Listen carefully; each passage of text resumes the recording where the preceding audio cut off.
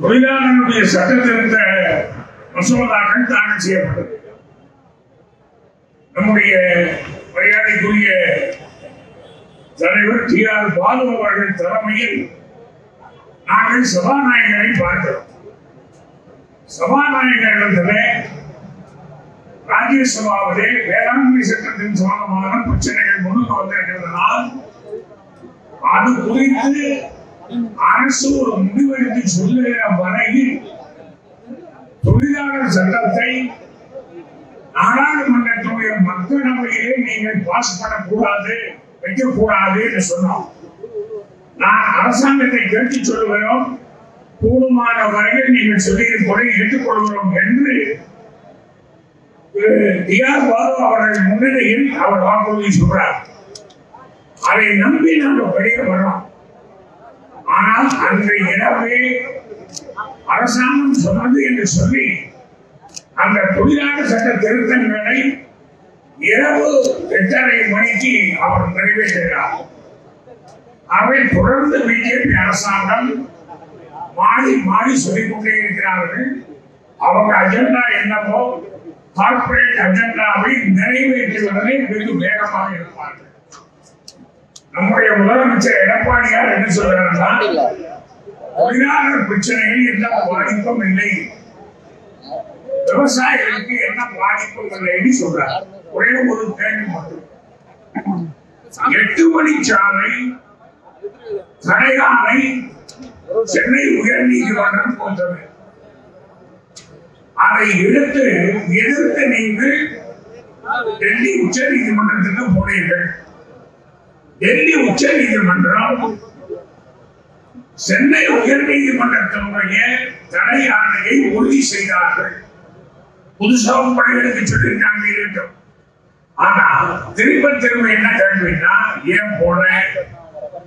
விவசாயிகள் புரிந்து கொண்டார்கள் சொன்ன வேண்டாம்னு சொல்றாங்க இப்போ. எட்டு மணி சாலை வேண்டாம்னு சொன்ன பிறகு கீழ்கோர்ட்டுக்கு போறேன் மேல்கோர்ட்டுக்கு போறேன் சுப்ரீம் கோர்ட்டுக்கு ஏன் போறேன்? ஏன் போறேன்னா ஒண்ணு எந்த கார்பரேட் மோடியை இயக்குறானோ அதே கார்பரேட் தான் எடப்பாடிய இயக்குறாங்க இன்னொரு முக்கியமான ஒரு விஷயம் இந்த சட்டத்தில் என்னவென்று கேட்டால் இந்த பன்னாட்டு கம்பெனிகள் அவர்களை பொறுத்தவரையில இது ஏதோ விவசாயிகள் பிரச்சனை மாதிரி அல்ல. நேற்றைய தினம் டெல்லியில சந்திக்கிற போது அவங்க சொன்னாங்க கரெக்டா சொன்னாங்க. நூத்தி முப்பது கோடி மக்களுடைய உணவு பிரச்சனை பண்றாங்க. எங்க பிரச்சனை மட்டுமல்ல.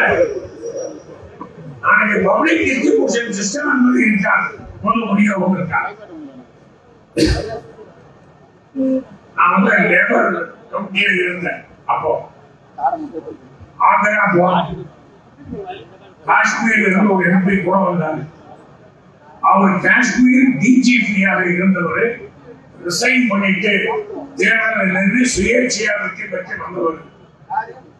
அந்த காஷ்மீர் ஆந்திராக்குள்ள படையல் செய்கிற தொழில் தான் ஒரு சிறு தொழில் படையல் வட இந்திய பெண்கள் போல வெளியில ஒரு இருபத்தஞ்சு வடையும் போடுவாங்க இது பக்கத்து போடுவாங்க வடையில் பெரிய இண்டஸ்ட்ரி குடிசை தொழில் அந்த அம்மா செய்யறாங்க. நாங்க ரெண்டு பேரும் போய் அவங்க கிட்ட கேட்கலாம். தண்ணீர் வசதி எப்படி வீட்டு வசதி எப்படி வாடகை எப்படி சம்பளம் நேர் எதிராக குடிநீர் இல்லை ரோடு இல்லை எல்லாம் சொல்றாங்க. நான் அந்த எம்பி கிட்ட சொன்னேன் தமிழ்நாட்டில் டாக்டர் கலைஞர் அவர்கள் அண்ணா அவர்களும் டாக்டர் கலைஞர் அவர்களும் திராவிட முன்னேற்ற கழக அரசு வந்த காலத்தில் இலவச அரிசி ஒரு ரூபாய் அதுக்கு பிறகு இலவசம் என்று வந்தது என்ற ஒவ்வொரு குடும்பத்திற்கும் பத்து கிலோ பதினைந்து கிலோ வரை இலவச அரிசி கொடுத்தோம்.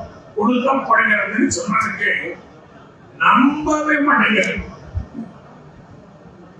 நாடாளுமன்ற உறுப்பினர் டிஜிபி டிஜிபி வந்து நம்பவே மாட்டேங்குது. நீ வந்து உங்க ஸ்டேட்டுங்கிறதுனால சொல்றேன் பண்ணப்பா உலகம் வந்து பாருங்க ஒன்பது ரூபாய் அங்க அரிசி அந்த ஒன்பது ரூபாய் ஒரு கிலோ.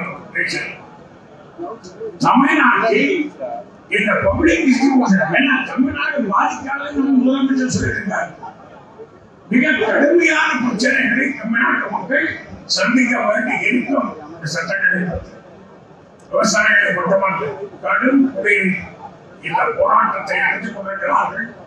வரலாற்றின் சிறப்புமிக்க போராட்டம். நினைச்சே பார்க்க முடியும். நம்முடைய முன்னாள் அமைச்சர் தயானந்த் மாறன் சொன்னாங்க. நேற்றைக்கு நானும் நேற்றைக்கு இருந்து வந்தேன். மிக கடுமையான குரல் ஜனங்கள் ரோட்டில் இருக்கிறாங்க. நம்பவே முடியல. எப்படி அதை சமாளிக்கிறாங்கன்னு தெரியல. அவ்வளவு தங்களை வருத்தி கொண்டு ஒரு மிக கடுமையான போராட்டத்தை நடத்தி வருகிற இந்திய நாட்டு மக்கள் நூத்தி முப்பது கோடி மக்களுக்கான போராட்டத்தை நடத்துகின்ற அந்த விவசாயிகளுக்கு சாலியாரிட்டி கூட நிற்போம். தமிழ்நாட்டு அரசாங்கத்தை நிர்பந்திப்போம். அந்த பணியை ஏற்றிருக்கிற மேடையிலே அமர்ந்திருக்கிற தளபதி அவர்கள் தலைமையில் அமர்ந்திருக்கிற மகத்தான தலைவர்கள் அத்துணை பேருக்கும் நன்றி தெரிவித்து விடைபெறுகிறேன். வணக்கம்.